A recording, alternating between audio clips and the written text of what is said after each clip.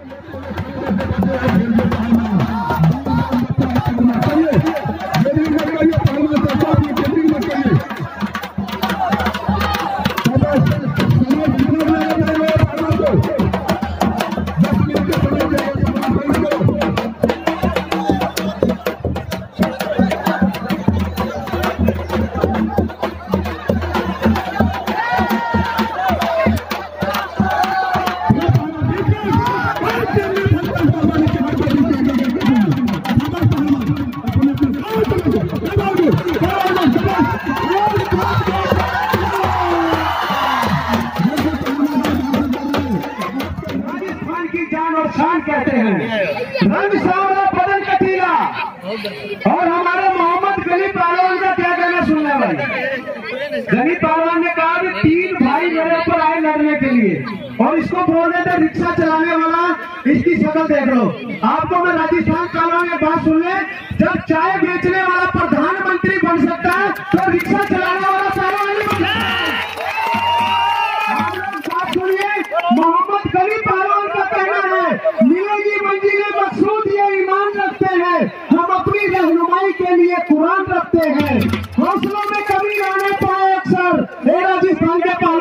गली पहलवान का कहना, हम अपनी कश्तियों के पास तूफ़ान रखते हैं। ऐसा सालों के साथ स्वागत किया होगा ना किसी की नज़र बुरी और ना किसी का मुँह काला। इस कुश्ती में वही होगा जो का ऊपर वाला।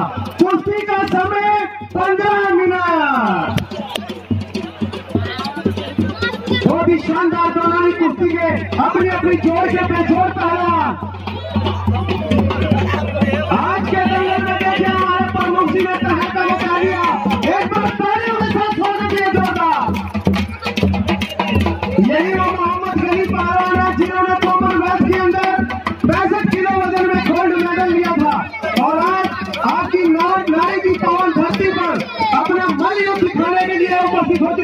दोस्तों देखते रहिए। बहुत अच्छे सवाल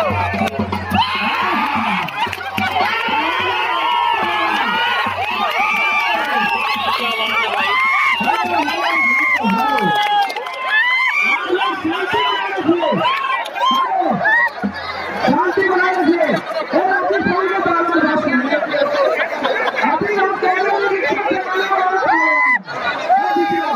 ए, राजस्थान राजस्थान के पहलवान पीछे आओ पीछे जाओ पीछे जाओ हेलो आप लोग शांति बनाए रखिए राजस्थान का पहलवान अभी गलत बोल रहा था हम आपको एक बात बता दें हेलो बस मौका न ढूंढ बस में मौका न ढूंढ घुसने की हर पार न कर अगर तू मत है तो उसके सीने पे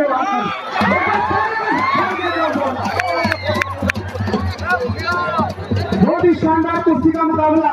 एक तरफ़ हल्के वज़न में मोहम्मद गली पहलवान और भारी वज़न में राजस्थान के पहलवान। अरे राहुल पहलवान, आपने तो घनी पहलवान का बहुत तामसी के रास्ता को नीचे उतर के क्यों भागता है? दोनों मैदान में आएगा तो पहलवान बच्चे के जैसे लग रहा क्या उसे पहलवानी कर सकता है?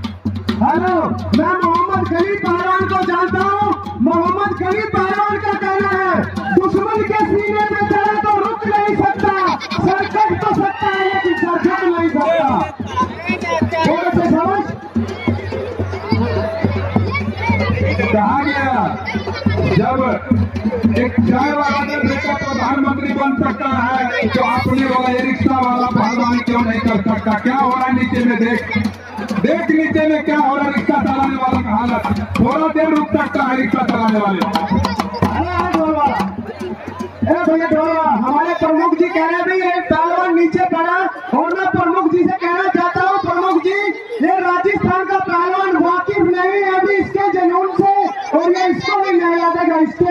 ही से। अभी आप देखते रहिए लोहा गर्म हो रहा है। अच्छा। हाँ, हाँ, हाँ।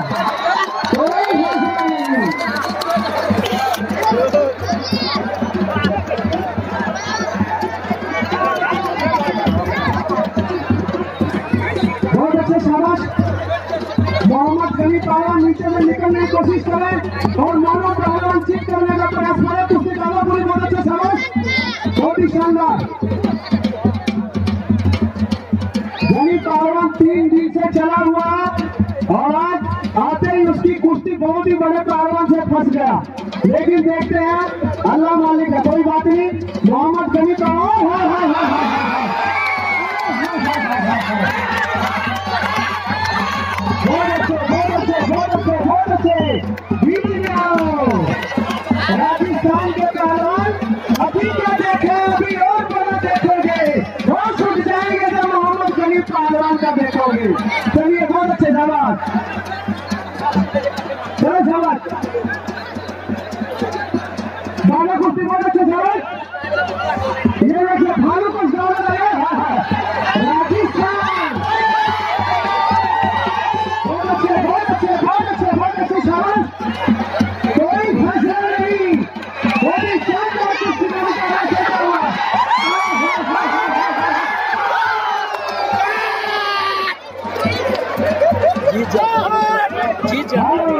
जीत जाता है। जीत जाता है। जीत जाता है।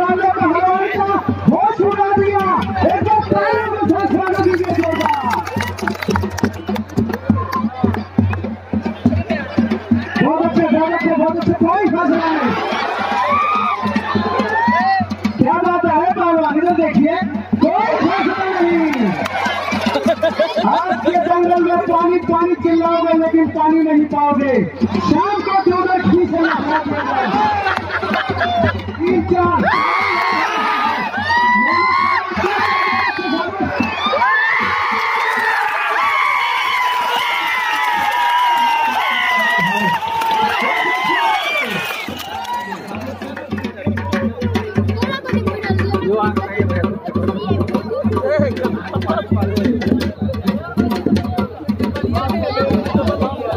दिया गया था आठ मिनट।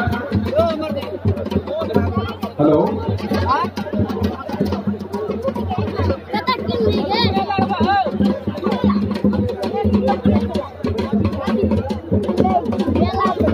समय दिया गया आठ मिनट, पहलवान जी।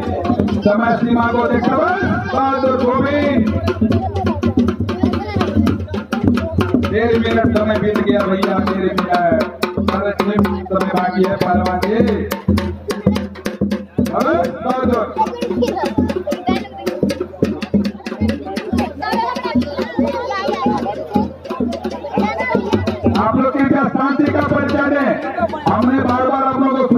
लोग कृपया शांति का परिचय देकर के मनोरंजन दें क्योंकि बहुत सारे पहलवान अभी बाकी है कुश्ती लड़ने के लिए। आप लोग शांति का परिचय दीजिए।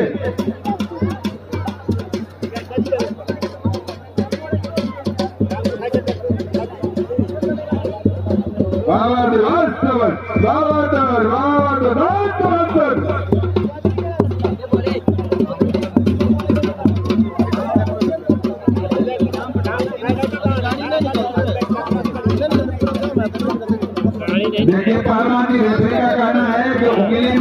काम करिए रोकना नहीं है। कोतर की नुकसान नहीं होना चाहिए।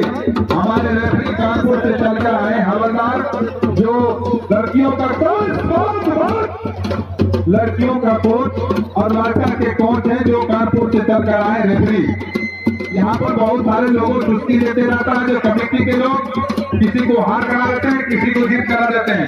इसलिए स्पेशल के रूप में कानपुर, यूपी से चलकर ये रेफरी, हवलदार पहलवान, जो दोनों पहलवान जो जीत हासिल करेंगे उसका डिसीज़न देना है। हमने बहुत सोच समझ कर इस बार कमेटी ने, बहुत सोच समझ के पहलवान और रेफरी